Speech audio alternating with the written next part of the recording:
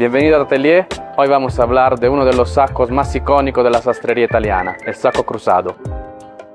Empezamos con este saco que representa la formalidad del saco cruzado y esta se puede ver gracias al ancho de su solapa de 13 centímetros, los dobles ojales milaneses hechos a mano y dos bolsas de vivo.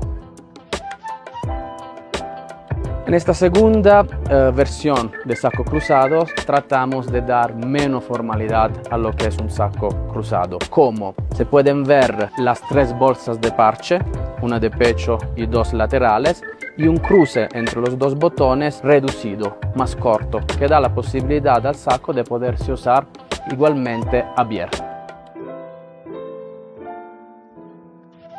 Aquí vemos la tercera opción de saco cruzados que queremos enseñarle hoy. Y la particularidad de este saco es que un saco que se puede considerar en tendencia porque tiene los botones del delantero oculto con dos bolsas de parche más un tercer bolsillo de parche y no tiene eh, ojales. Esto da la posibilidad de este saco de verse muy fashion en situaciones como eventos de noche o en situaciones formales.